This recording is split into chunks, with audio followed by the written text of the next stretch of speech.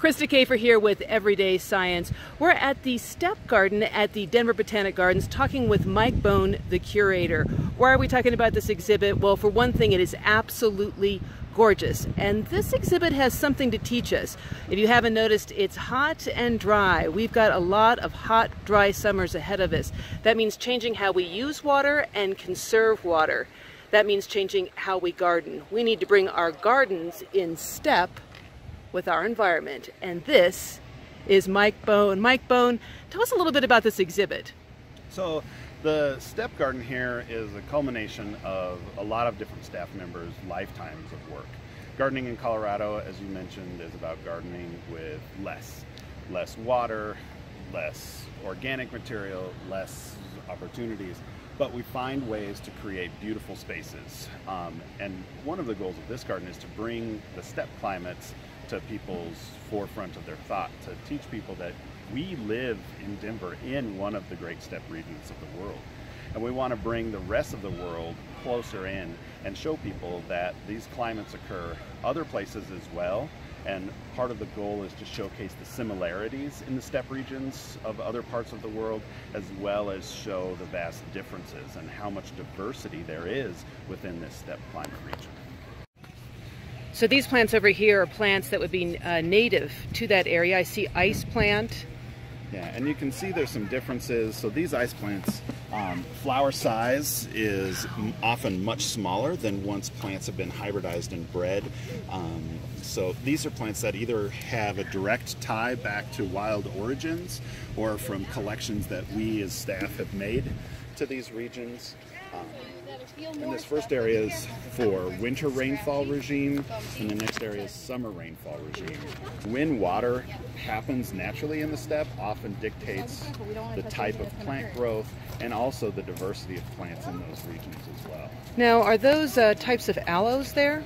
So this bed is a, we also are incorporating sort of unique little vignettes inside.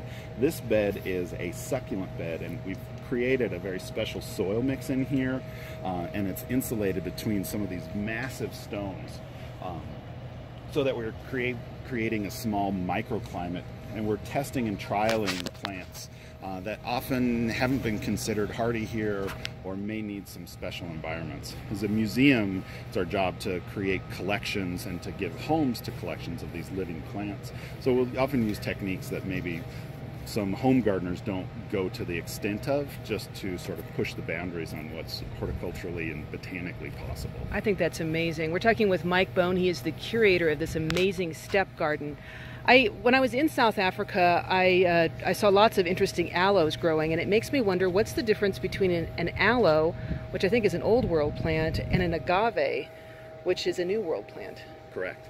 Um, there's there's some there's a lot of differences.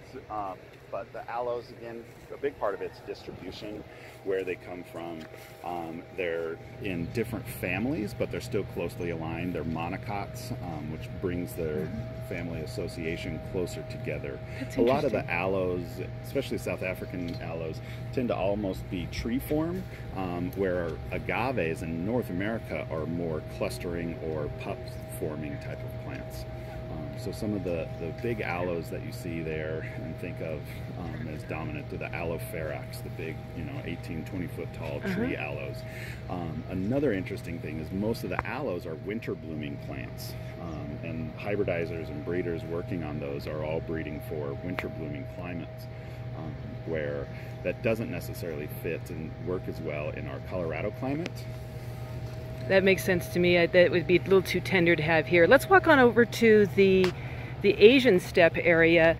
What you see in Central Asia a lot, Central Asia is home to many of the bulbs and mm -hmm. bulb, a bulb or tuber will also act as that water storage. It's just in a different manifestation than succulent leaves above ground. Which is why tulips do so well in Colorado. It's a similar kind of environment. Right. Uh, Johnny Jump Ups, are they from Asia? So this is um, Viola Tricolor, uh, and it's a collection that I made near Markakol Lake in the foothills of the Altai Mountains in Kazakhstan. Um, it's a steppe growing species, and many of the plants that we see, the violas and the pansies that we have, own their lineage back to wild species collected in the steppes of Central Asia. That makes sense. I have something called a clary sage, which has a bloom similar to this plant. Yeah, this is a salvia, and salvias um, have an incredible distribution. This is Salvia chrysophylla, uh, and this is one that comes from Turkey. Um, very dry parts of Turkey and that steppe, but um, the foliage on these is often fragrant. Um, the flowers are interesting and mm. are visited by bumblebees. Bumblebees are drawn towards blue flowers as well, and if you can look closely here, there's pollinators come in and fly around all of these. Some native bees. You also see we, here at the gardens we have a couple of honeybee hives. So they're really active in some of these sections now.